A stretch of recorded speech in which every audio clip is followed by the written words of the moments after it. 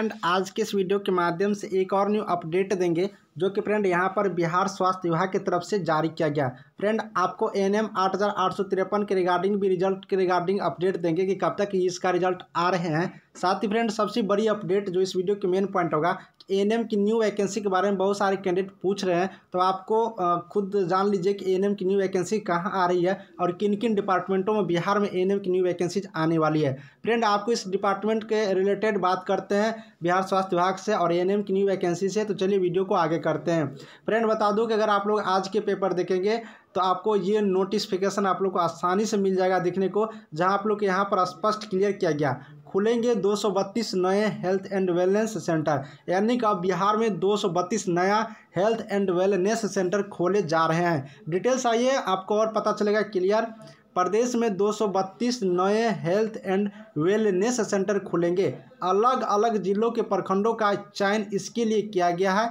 नए wellness centre के निर्माण के लिए छः महीना से एक वर्ष की म्यादा रखी गई। यानी कि अब प्रत्येक जिलों में जो प्रखंड है उस प्रखंडों में यहाँ पर हेल्थ एंड वेलनेस सेंटर खोलने की विचार कर रही है, जो कि यहाँ पर छः महीने से एक साल तक का म्यादा रखी गई है। छः महीने से एक साल के अंतर्गत यहाँ पर बन जाएँगे।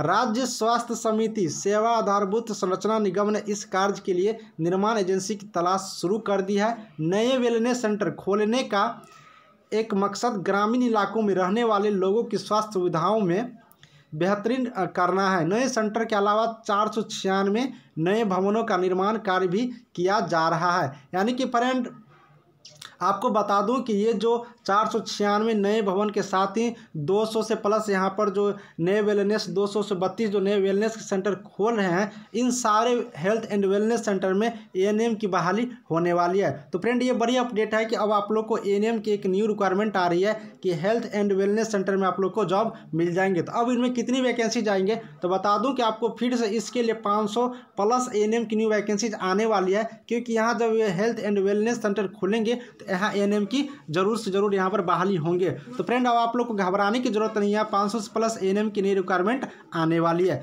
इसके अलावा फ्रेंड बता दूँ कि नया रिक्वायरमेंट बहुत जगह आने वाली है, जैसे कि I G I M S Patna में भी यहाँ पर आपको एन की नई रिक्वायरमेंट देखने को मिलेगा। महावीर कैंसर संस्थान में भी एन नए रिक्वायरमेंट देखने को मिलेगा। तब आप लोग को कुछ दिन और वेट करना है, आप लोग को नए एनएम के रिलेटेड वैकेंसीज आ जाएँगे।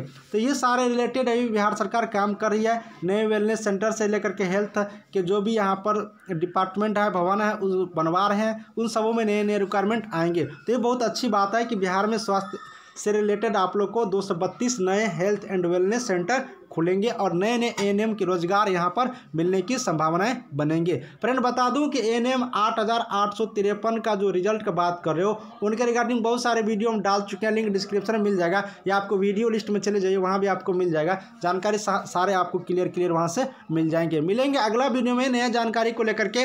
देखते रहिए फास्ट इन्फॉर्मेशन, कोई डॉट हो, कमेंट सेक्शन में ज़रूर लिखिएगा। ज़्यादा जानकारी के लिए आप लोग टेलीग्राम ग्रुप भी ज्वाइन कर सकते हो, वहाँ पर कोई भी नया एनएम से रिलेटेड आप डॉट पूछ सकते हो नया वैकेंसी आते हैं तो हम डालते रहते हैं। Thank you